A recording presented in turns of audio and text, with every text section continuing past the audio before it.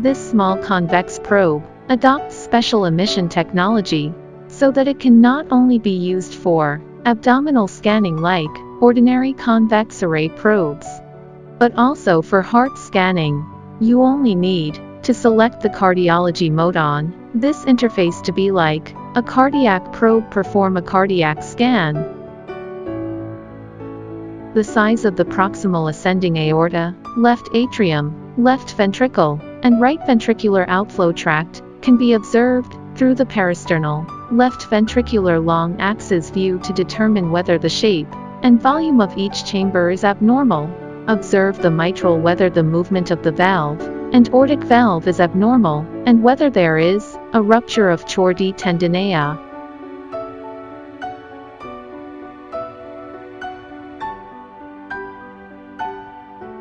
It is also possible to judge whether the contractility of the left ventricular myocardium is abnormal by observing the movement of the ventricular wall. In this view, judge whether there is pericardial effusion in the left ventricle.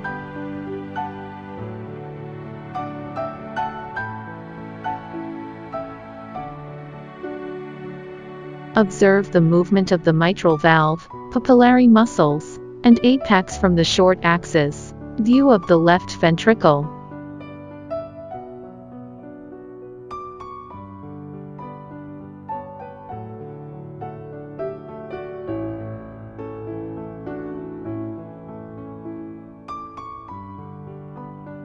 Judge the overall heart size, contour, and presence or absence of pericardial effusion on the four-chamber heart view, and observe tricuspid valve movement.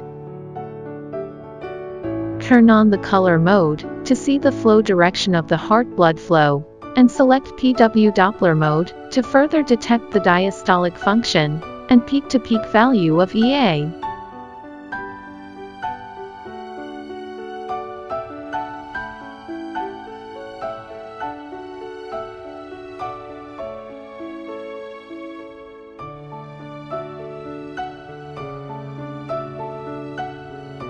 In addition to meeting the portability requirements of traditional bedside ultrasound, this wireless probe can also be combined with a tablet or mobile phone to form a movable ultrasound device.